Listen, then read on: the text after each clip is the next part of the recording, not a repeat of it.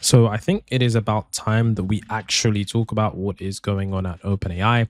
The company has had a tumultuous season with many of their senior researchers and leaders departing for a variety of different events. In this video, I'm going to do an extensive deep dive on what's actually going on at OpenAI. I know that most of you know a few things, but there's been a few articles released in a few days in addition to Mira Murati leaving, which is why I'm making this video because there is a lot of new details that reveal exactly why OpenAI has kind of fell apart in the way that it has. So let's not waste any time and dive into exactly what's going on with OpenAI. So recently, there were two articles that were released by Vox, by the Wall Street Journal, and by The Information. So we have a plethora of news organizations releasing their own proprietary information with regards to what happened to OpenAI. It was honestly surprising to read all three extensive articles, but they showcase clearly what most of us already know. OpenAI has exploded unexpectedly, and with that explosive growth, they're having a lot of teething problems with the company. And it does bring into question how far this company will succeed and how their future might be. So you can see right here, we have this article that said OpenAI as we knew it is dead. This one was basically referring to the fact that OpenAI's initial promise is no longer the promise to actually build AGI safely. And of course, we also have this article here, which I'm going to dive into as well, which dives into behind OpenAI's staff churn, the turf wars, the burnout, and the compensation demands. A variety of different things that are really, really eye opening, including some tidbits onto why Ilya Sutskever left and how they were trying to get him back. In fact, that's actually from the Wall Street Journal article, which I'll talk about in a moment. So, one of the things that this article actually speaks about is that it speaks about Sam Altman's management style. It talks about how the board had, you know, enough of the rumblings of the AI CEO about his management style. And one of the things that did become apparent, I think it was earlier this year, was that Altman allegedly operated, how he operates, is that he has a tendency to pit other leaders against each other. So this is something that is, of course, not really great for the workplace. I'm not exactly sure why this has happened, but if you were someone that has paid attention to this, you'll remember exactly. I'm not sure if it was last year or this year, but we had a situation where we had people like Toner coming out and basically saying that, look, Sam Altman was lying about this, he was lying about that. Um, this is not true, that is not true, and just a variety of different pieces of information that were really incredible regarding the true details with the board of OpenAI. And of course, you could see here the members of the board worried that if those tendencies left unchecked could hurt OpenAI's ability to retain key researchers and executives. And of course, a year later, those concerns appear to still be here.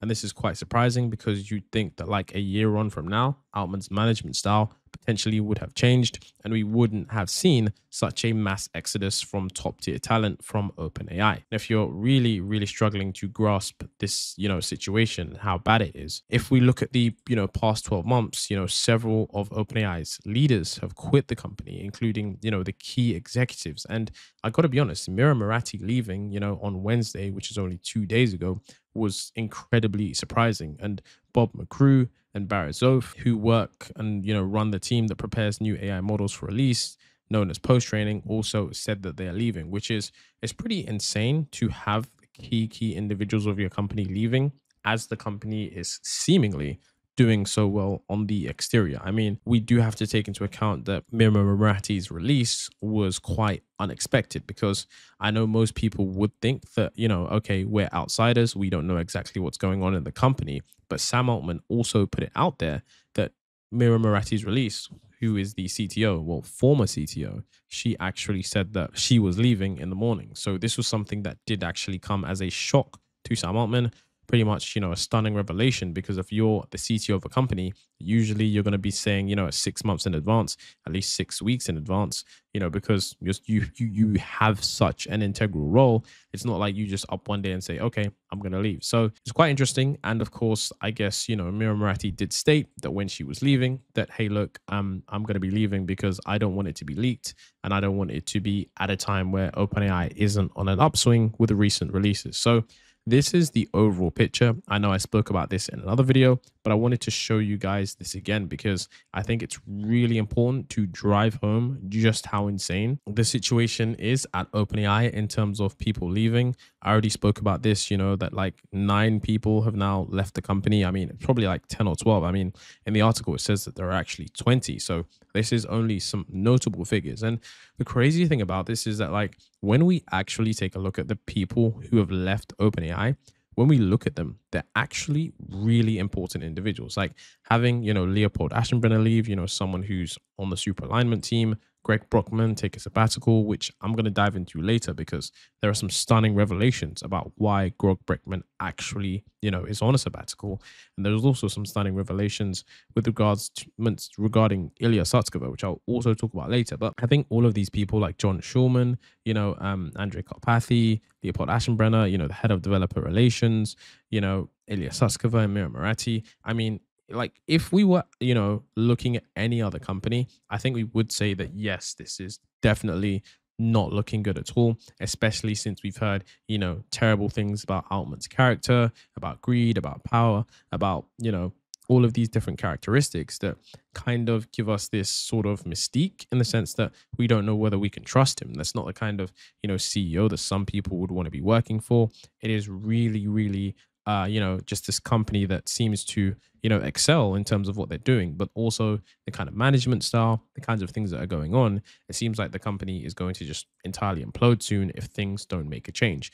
Now, thing about this is that um, you can see right here is that you can see that Altman said Wednesday in a memo that he would, you know, is, is he's going to be involved in more technical product parts of the company and after primarily focusing on the non technical aspects such as fundraising, government relations, and business partnerships with Microsoft, Apple, and others.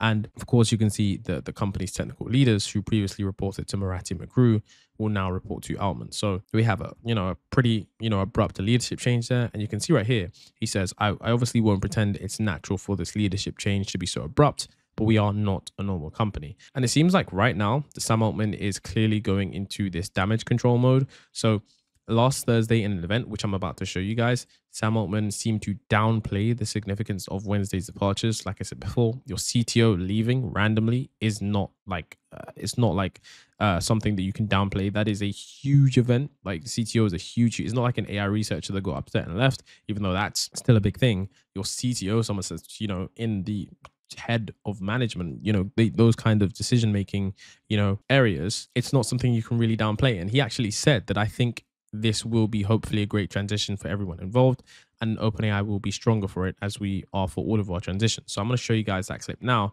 but I don't think you can really downplay your CTO just leaving randomly when so many people have left before. It just it just looks really bad. Thank you for being here with us, Sam. It's Thank been, you all for coming. Thank you for having me. It's been a eventful 24 hours. We're used to those uh, at OpenAI, but it, it has been, yes. So some of our top uh, Mira, who's been our CTO, uh, and Bob, our head of research, decided to move on from the company. Um, I'm tremendously grateful for all that they've done, and I, you know, they actually both of them have been working at OpenAI full time longer than I have. Uh, I was still doing Y Combinator work, and you know, they've done, they've gone way above and beyond the call of duty for OpenAI. They've done tremendous work, and one of the things that I love is helping to develop talented people, and then if they want to retire or if they want to do something new, uh, I'm always excited about that.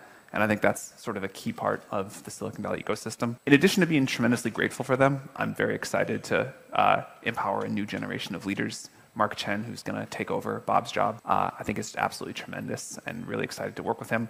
Excited to flatten out the org and get to work more closely with the other technical leaders. I have not been as involved in the tech uh, recently as other things because there's been so much going on.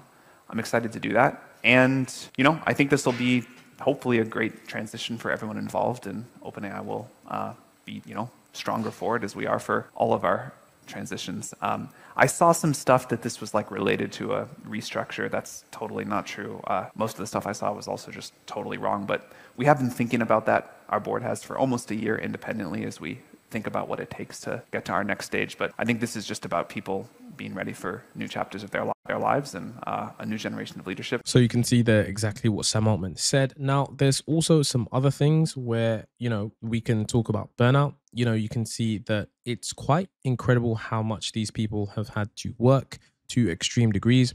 You can see here it says its researchers are grumbling about how much compensation they should get and Altman is pushing the company's teams to turn, you know, breakthroughs into public products as quickly as possible, causing stress as employees work nights and weekends to launch the product on short timelines, several employees said. And whilst yes, I guess you could say that this is what comes with working with, you know, you know, a tech company, especially companies like OpenAI, you know, the days of, you know, just having a tech companies where you have these beanbag filled rooms and you have like, you know, uh, you know, basically adult daycare and you're paid like quarter of a million a year. Those days are over. I still think that this is rather incredible because I think what we're looking at here is, you know, a situation where you have like a lot of these AI researchers and those are kind of like different employees than to, to traditional tech employees that are used to like working incredible hours. And you can see here that this kind of culture you know of working you know you know doing so much stress it just you know it's it's difficult because on one hand you have you know traditional company culture which is of course you're supposed to work hard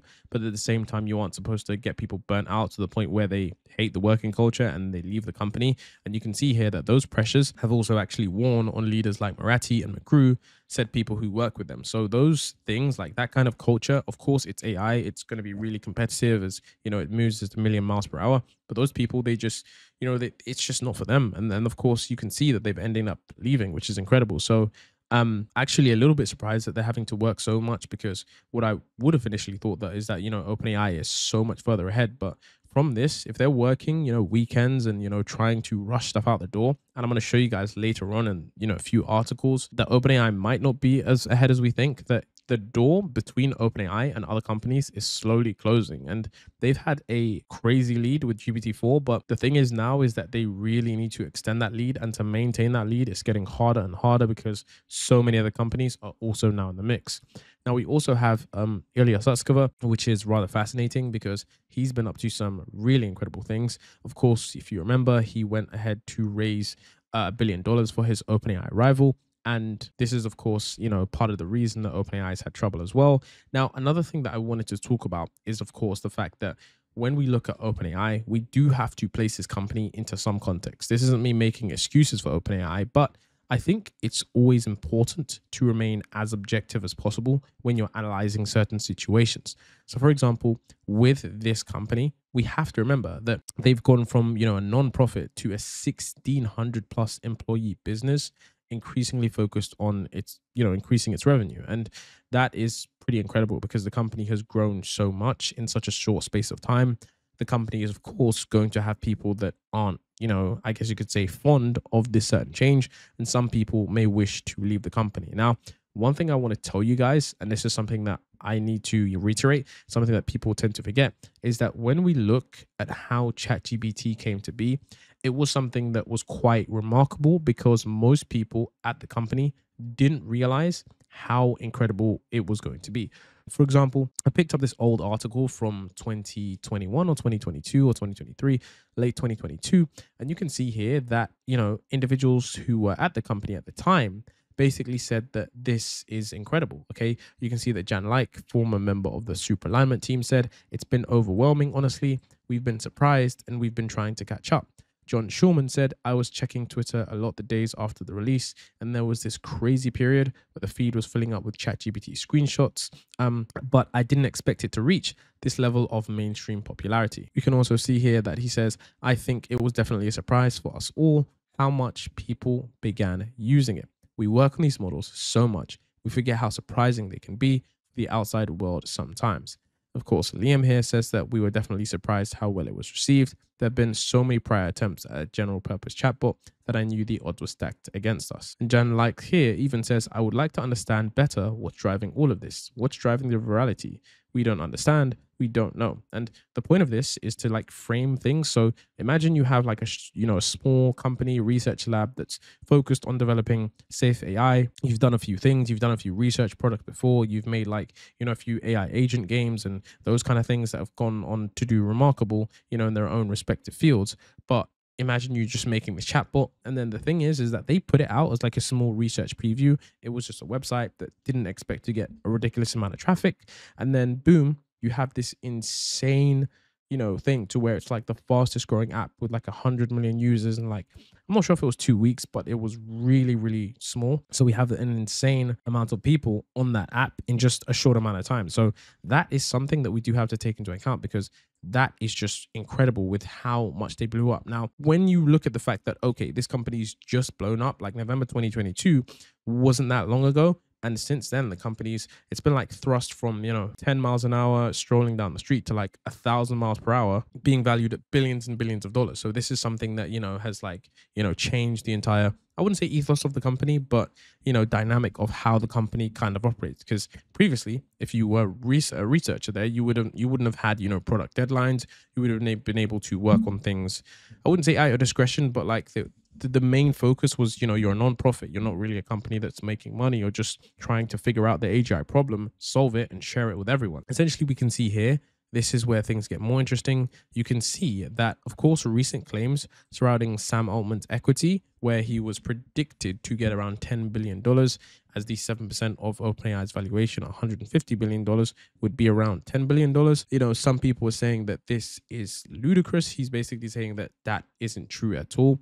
And I don't know whether or not it's true or not uh, there's many articles stating that he's going to get equity. He's stating that he's not going to get equity. Either way, I think if he does get equity, it's going to look really awful because this all this tracks back all the way to when OpenAI was initially created. I mean, um, for example, you can see here someone said how to make $10 billion, raise $50 million from Elon Musk to start a nonprofit, then tell everyone you're doing this for the sake of humanity and raise billions. And then you can see that Elon Musk here says that this is deeply wrong. If you aren't familiar with the backstory, Elon Musk is the one that helped create OpenAI with $50 million of his own money to start the company. And then, of course, on the back end of things, he was kind of like shut out, had disagreements with Altman, and now Altman is getting $10 billion of a company that, you know, was previously a nonprofit. Now, this is why it's such a bad issue. I know I played this before, but I'm going to play it again. It's only 15 seconds, but in this interview, not an interview, it was like in this Congress hearing, he was basically saying that, look, I don't have any equity in the company. You know, I'm only doing this because I love it. You make a lot of money, do you? I make no. Uh, I'm paid enough for health insurance. I have no equity in OpenAI. Really? Yeah. That's it. You need a lawyer. I need a what? You need a lawyer or an agent. I, I'm doing this because I love it. So yeah, um, when you have people saying that, okay, he's just this, you know, uh, angel who's like, okay, I'm just doing this because I love it. I just want this company to succeed. You can see here that you know the article from Reuters, which is right underneath, that says Sam Altman will receive equity in the first, you know, first time ever.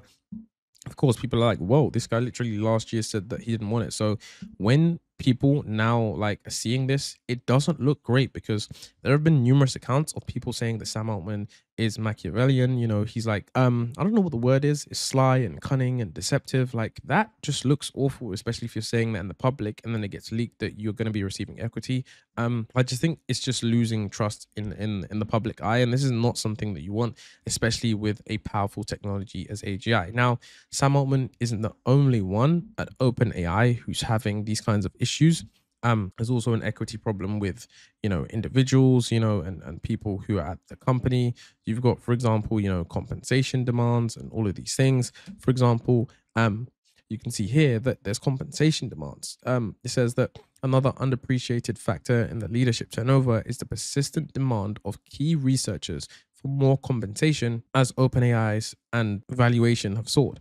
Ex employees have already cashed out more than $1.2 billion from selling their profit units. So these compensation demands basically refer to, you know, asking for higher pay, better financial rewards, or in the case of OpenAI, as the company has become more and more valuable and its reputation has grown, key researchers um, and key employees have been basically pushing for better compensation to reflect their contributions. Now, unlike many traditional companies that offer you know stock or equity which means employees can own a small part of the company openai doesn't actually have typical stock options instead these employees actually have profit units, which give them a claim to a portion of the company's profits if and when OpenAI becomes profitable. And in the past few years, OpenAI employees and former employees have been able to sell those units to other investors.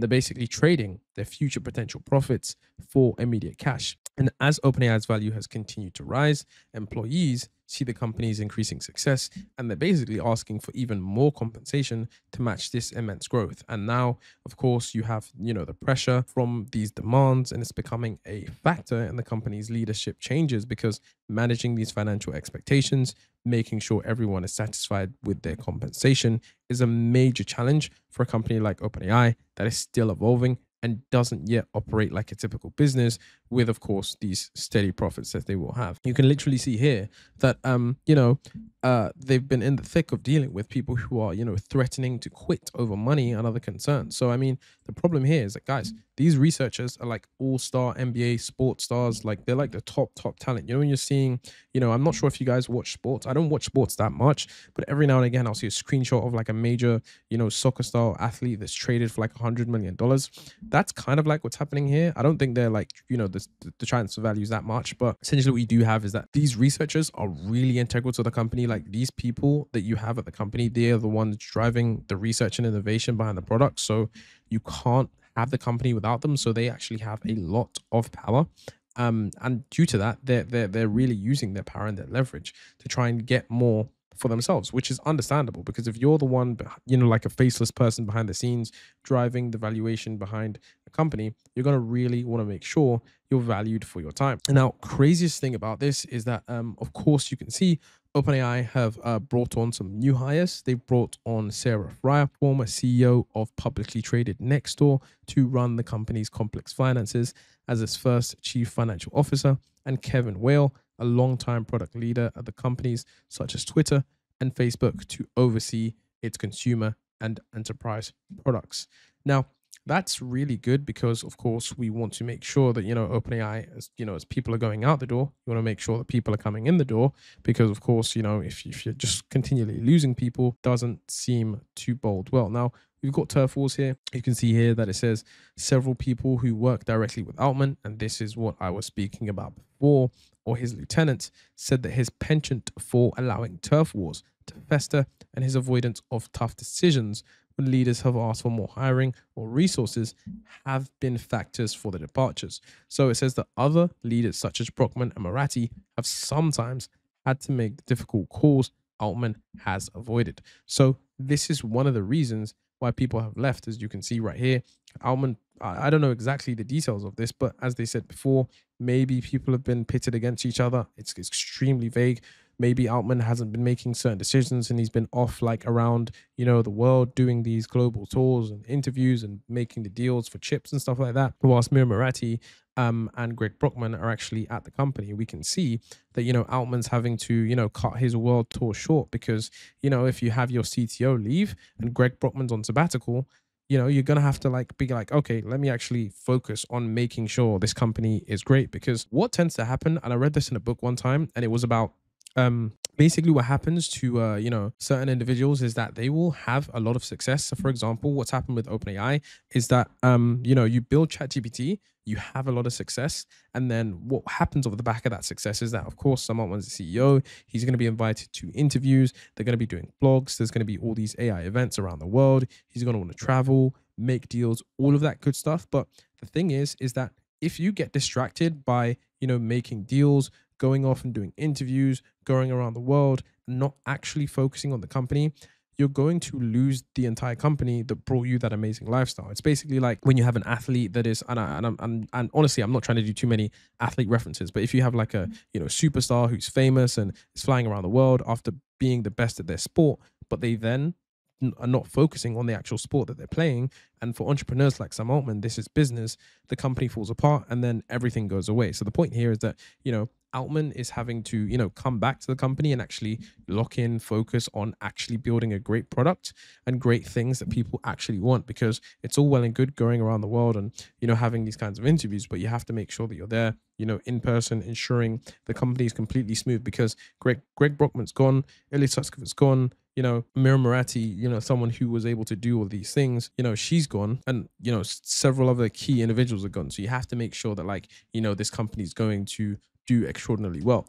Now, of course, you can see, um, like I said before, Mira Murati and Brockman have actually clashed with each other over the company's AI development plans. You can see right here, um, one of the reason for the friction was that Brockman, despite his lofty title, was also an individual contributor to projects. So if you don't know, Brockman is like he's not like um Sam Altman at all. He's not like he's like he's actually like quite the opposite. He's like a guy who will be in his room coding 12 hours a day. It's actually like a meme on Twitter how like locked in uh, Greg Brockman is. And when I say locked in, I mean like how focused at work this guy is because he will literally just tweet about coding all the time. Um, and he's someone who's very hands on. Um, um, and I guess you could say, you know, later on in the article, you're going to see uh, it's it's almost too much. So you can see right here that one reason that the friction was that Brockman, despite his lofty title, was also an individual contributor to projects. For example, an effort to take early AI research and turn it into working prototypes or products that could handle lots of customers. That at times put him at odds with tech leaders like Murati, who managed the scores of researchers and software developers working on core AI models. Those staff sometimes had their own plans for turning work into products that conflicted with Brockman. So we have this, you know, issues where we've got Brockman that is very hands-on, he's very technical, and he wants to turn, you know, his, you know, research into working prototypes, you know, that could handle customers. And then we have other software developers in the company who are, you know, basically, you know, they're just not agreeing. They're just, they're just there's no like synergy there. So um, this is actually part of the reason that you know Brockman actually took a leave because there was just so much friction between them and other teams. So it was really really hard to get um them to like kind of focus. So it's it's just it's just incredible. Like this stuff is going on at such a major company. But like I said before, this is why you know Brockman is very very hands on. He's very technical. Um, and this is you know something that uh, you know kind of caused certain issues within the company. And you know I'll show you guys this now. Basically, um, as you know, what as we're talking about Brockman, the kind of problem was was that you know Brockman um didn't have direct reports, but of course um he tended to get involved in any projects he wanted, often frustrating those involved, according to current and former OpenAI employees. They basically said that Brockman, um, this is why he left. You know, he demanded last minute changes to long planned initiatives, prompting other executives, including Murati, to intervene to smooth things over. So you have Brockman um, disagreeing with certain employees about you know certain things and certain products, how they're being deployed, what's being offered, and this is of course causing internal conflict, which isn't great. You don't want to have internal conflict at a company where you're trying to push the needle forward. I mean, it's quite an issue, and you can see right here that this caused um so much you know issues that um, staffers urged Altman to rein in Brockman, saying that his actions demoralized employees and that those concerns persisted through this year when Altman and Brockman agreed that he should take his leave, leave of absence. So basically, Greg Brockman right now is on a sabbatical because I'm guessing that, you know, the issues that they've been facing on the company where he's just, you know, consistently wanting to get involved in certain things, you know, it just wasn't working. And I think that's incredible because we have a situation where someone that wants to, you know, do certain things in the company, I, I don't know the exact details, but um, he, he's of course left a sabbatical. So it will be interesting to see how this company manages moving forward and the kinds of things that you know they get up to because I think OpenAI really has some work to do in terms of their organization skills and so far I mean it doesn't look great and I really hope Greg Brockman comes back because if he doesn't I don't think OpenAI is going to do well for the foreseeable future.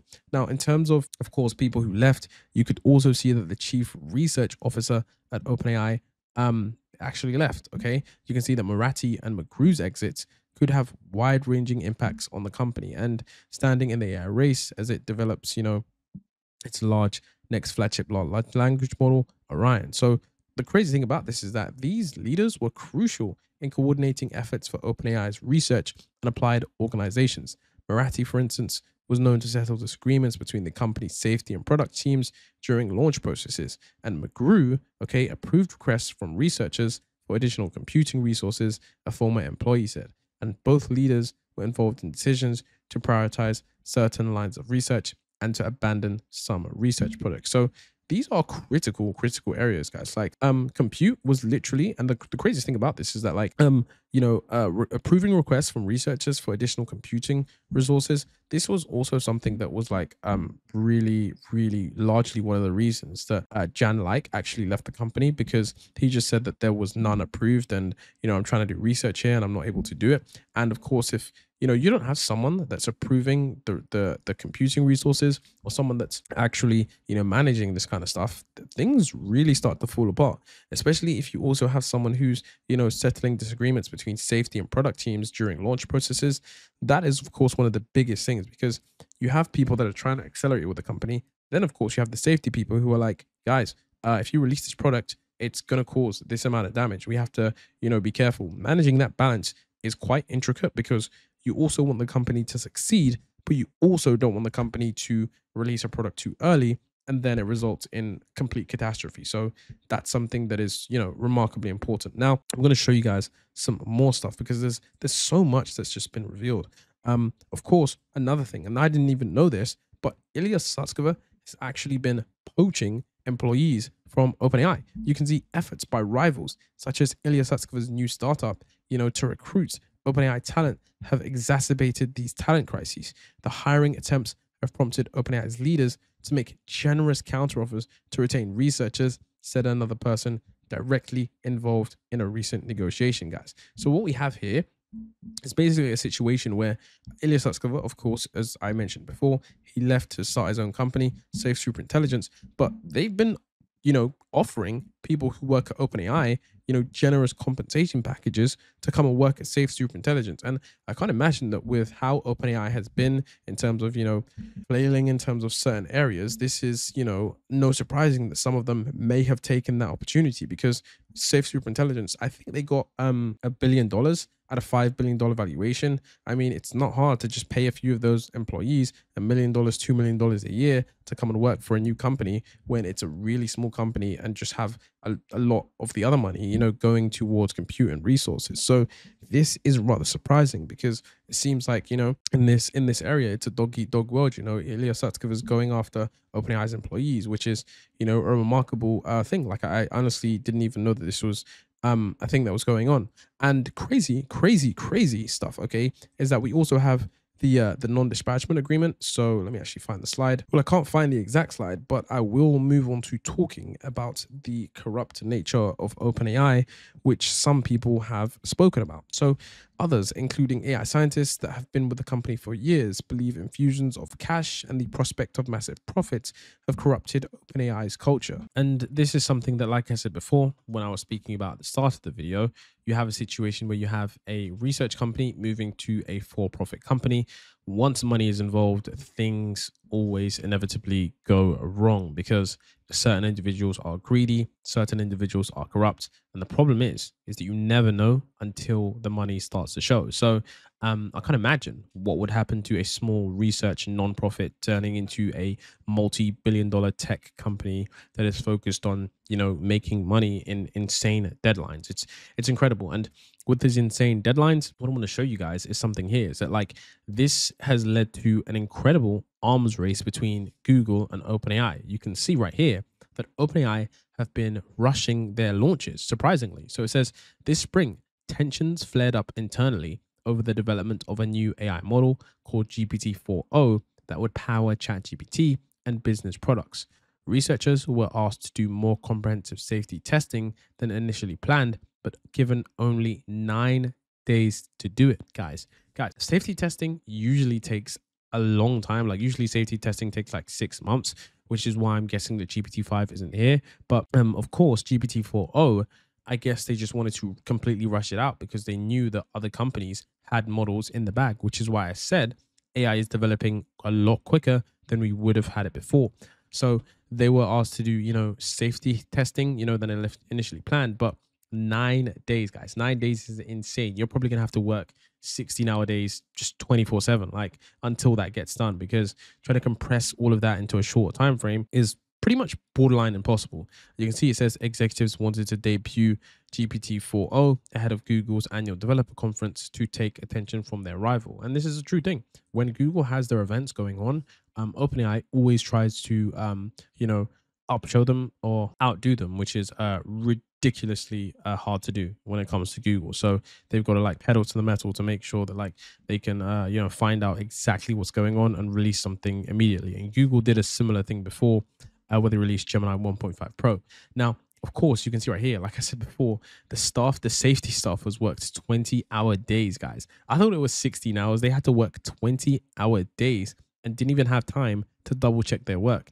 The initial results, based on incomplete data, indicated that GPT 4o was safe enough to deploy. So I mean, you know, but before but after the model launch, people familiar with the project said a subsequent analysis found the model exceeded OpenAI's internal standards for persuasion, defined as the ability to create content that can persuade people to change their beliefs and uh, potentially engage in potentially dangerous or illegal behavior.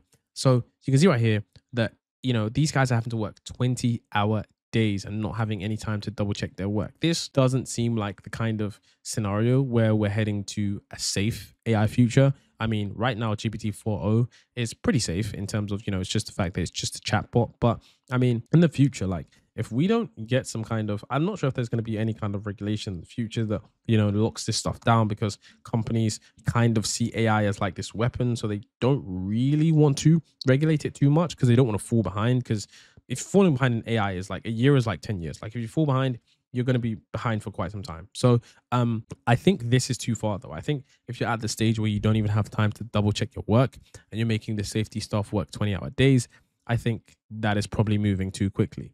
Um, and you can see right here that this rush to deploy GPT 4.0 was part of a pattern that affected technical leaders like Murati, the CTO, and this is where you know we got so many people saying that where is voice mode? Where is voice mode? Where is voice mode? Um the ceo repeatedly delayed the planned launches of products including search and voice interaction because she thought they weren't ready. So the thing here is that i think this is you know a situation where um, we have some people at OpenAI that just wanted to do things traditionally, and then we have some people that just wanted to push forward ahead with everything. And you can see that um, you know this is one of the reasons that I'm guessing why Mira Murati didn't like it because she's delayed the products. Of course, some people are going to say no, these things are ready. And you can see here that, you know, the, the, the disagreements, you know, this is what happened. So it's incredible. It's it's really, really incredible how quickly they were trying to move with these products. And I keep telling you guys, like, you know, a lot of people say, oh my God, I can't believe we haven't got this product for months. Guys, you have to understand that, like, this is major breaking AI technology. Like, this is, you know, breaking new ground. Like, the fact that we get multiple new models a year is absolutely insane. Like these things take months in terms of safety testing, post tracing, post training, data collection, um, you know, safety testing, like all of these different things to get a final model. Like, guys, this stuff is not easy. And I'm telling you guys that like we are very lucky to be in this space where we're enamored with all of these AI products that can help our lives in so many ways for a cheap price in terms of relative to what we're actually getting uh, and at the speed we're getting them as well it is insane, guys. Like I, I feel lucky to be alive at this time. Like I, I know some people don't really care that much, but I think this is honestly insane. So of course you can also see here that um other senior staffers were also growing unhappy with this, and you can see that John Schulman, you know, another uh you know co-founder and top scientist, told colleagues he was, you know, frustrated over OpenAI's internal conflicts. And basically, and I can't believe I forgot this part, but that Ilya they actually tried to get Ilya back.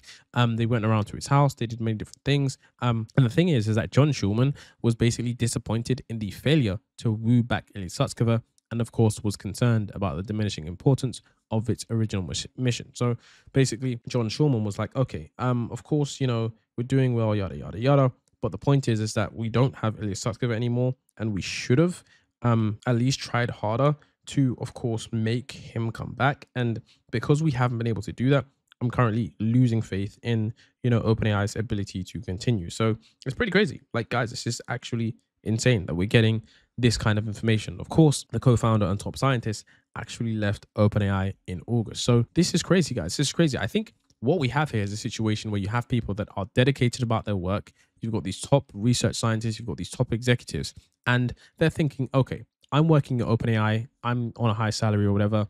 I'm doing well, but I'm stressed. There's a lot of fast deadlines. We've got, you know, shady management decisions. We've got the fact that this company is growing so quickly. We've got the uncertainness in terms of people keep leaving. Why don't I just, you know, keep or sell my equity as, you know, profit shares and join a company like Anthropic where I can actually focus on doing, you know, effective research I can focus on doing things for the longer term without having to work 20 hour days and ship out products that are unready and basically leave the Titanic because that's what I think that the people who have left OpenAI probably think it is because I think if you're you know a company's going to do well in the future, I don't think top people would leave at this moment in time. Sure, safety researchers, I completely understand it, but top execs leaving is just not a good sign, especially abruptly.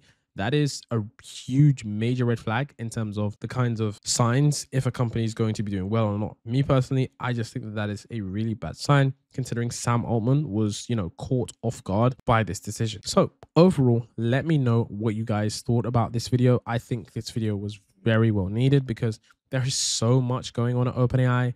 Um, and I know this video was a long one. I honestly try to speak as quick as possible. I wish I could have speak louder. Currently got a sore throat, which is very frustrating when you're trying to make content. But nevertheless, if you did enjoy this video, let me know what you think about the future of OpenAI. I think the future is not great. I think that you know they're between a rock and a hard place they're trying to maintain the lead and maintain their researchers without stressing everybody out but you know it just doesn't seem that things are going in the right direction i think openai does have a real good shot because they do have proprietary technology such as their models and the fact that they have the brand image so they will be around for quite some time but if they manage to mess up continually within over the next years and key researchers continue to leave, then things could get bad pretty, pretty quickly. With that being said, if you guys enjoyed the video, I will see you in the next one.